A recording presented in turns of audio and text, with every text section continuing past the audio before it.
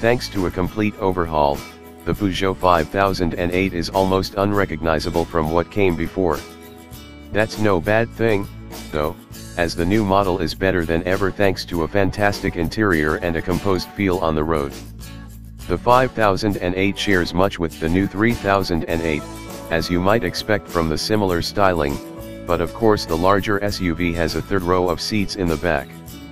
These can be folded down to free up extra boot space should you need it, so while the 5008 doesn't match the 3008 for economy or looks, it makes up for that with the added practicality.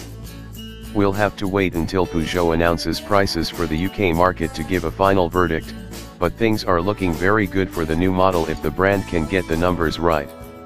These days car buyers are desperate for SUVs, with MPVs falling out of favor, and the 5008 has had a total makeover to reflect that. The previous 5008 was basically an MPV and while not an ugly car, it wasn't likely to catch anyone's eye.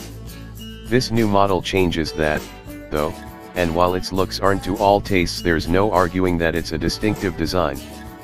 The long bonnet, upright grille, and sharp-looking lights are the exterior highlights, but it's inside where the biggest changes are. High-quality materials are used all around and, together with the attractive design, this helps the cabin feel very upmarket. It's one of the biggest generational jumps for interior quality in any car of the last few years. Even though it now looks like an SUV or crossover, the 5008 isn't available with four-wheel drive yet, although it's possible we'll see a hybrid model with an electric motor to drive the rear wheels later.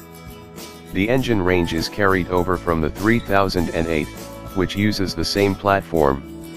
That means there's a 1.2 PureTech 130 petrol, a 1.6 ETHP 165 turbo petrol, 1.6 BlueHDi 100 and 120 diesels and 2.0 BlueHDi 150 and 180 diesels. Active, Allure, GT line and GT models will make up the specification list, although the range hasn't been finalized for the UK yet. A 12.3-inch digital instrument display is standard on all cars and you also get a separate touchscreen infotainment system, dual-zone climate control and rear parking sensors. The 5008 rivals a wide range of cars, including the Skoda Kodiaq and Nissan X-Trail but also the Citroën Grand C4 Picasso and Renault Grand Scenic MPVs. All have 7 seats, because if you don't need the extra seats then you're probably better off going for a smaller, lighter, more economical car. As it's now a crossover SUV rather than an MPV, the 5008 has raised up suspension that contributes to the striking new look.